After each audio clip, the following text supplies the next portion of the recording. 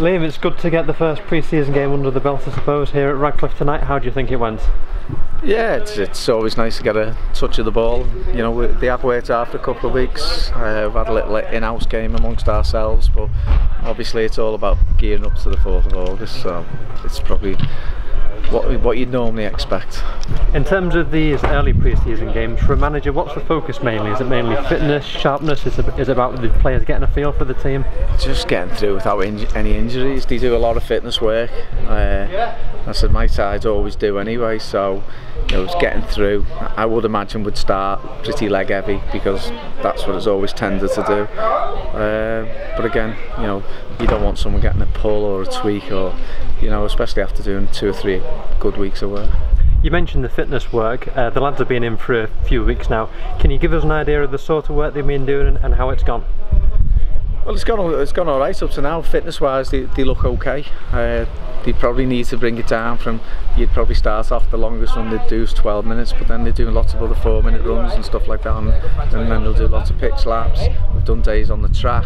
Tomorrow we're on the beach, so there's varieties, a bit of insanity thrown in, trying to vary. I said, but all in all, it just gives them a good base of fitness, and then we've got to bring it down. The last two, three weeks is all about sharpness. Then, in terms of the squad, there's been quite a few new faces to the squad you inherited at the end of last season. Uh, some new faces, some returning faces. How do you assess the the squad um, assembling so far? Well, it's getting there. It's it's getting to more. It's it's trying to get a, a, balance. It's trying to fight, find the right partnerships, and that's not. You know, sometimes it's down down the middle the two centre halves, the two centre mids, the two forwards, but then the two wide players in terms of the, which fullbacks suit which wingers, and you know it, that'll all work itself out. I'm a great believer in pre-season. You actually don't play yourself in the team, but you definitely play yourself out the team. So, you know, up to now, do take much notice of the first couple of games? Not really. Uh, but obviously when you get to the stage where going to start playing 90 minute games you probably there's an element you take more notice of organisation in terms of set plays you take more organisation in terms of actually how you want to play on the pitch um, but as I said, the first couple, we just want to get through through the game unscathed. You know, we got a slight knock tonight, but not a major. A few weeks to go, as you say, until the season starts. Do you expect to be busy in terms of any comings and goings in that time? I just think comings in, comings in. You'd always look at comings in if it, if something comes up which is better than what you've got, and and it, it's part of the budget. Uh, going out, people will go out, natural wastage. You know, some people don't think they're going to get enough game time. Other people, a couple of the younger ones, will go out on loan because they can't afford not to be playing. Uh, because that's all about the developments. Uh, so to answer, yeah, on both ways, yeah, big possibility.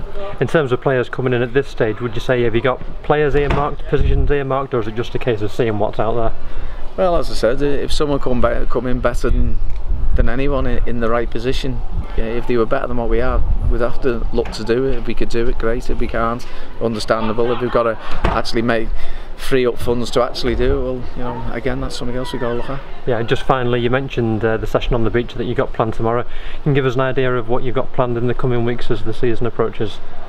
Yeah, I, I suppose that we're trying to get a, a lot of sort of like short periods of game time in them. So we've got a game on Friday night, then at Widnes, then we play Liverpool at the Academy on Sunday, then we go to Witton, and then obviously the following Saturday it goes Barrow, which will then start becoming more of a game when you, you've got to start looking as if you're gonna something like what you should be. Uh, finish with Accrington and leading up to Bury. One thing I will say, the team I play against Bury won't be the team I play at Telford, which I say every time I've managed, because people get obsessed with the team you're going to play in the last friendly, and you think that's the team when it's not. And and the team as well, you know, we've got good options. So I don't see us picking a team for the first seven games of the season and it stays exactly the same. You know, there's got to be changes and again finding the balance and fact, getting there, making sure everyone's got enough little bit of sharpness and, and some, a lot of the time doesn't come for 10 games anyway. Thanks Liam.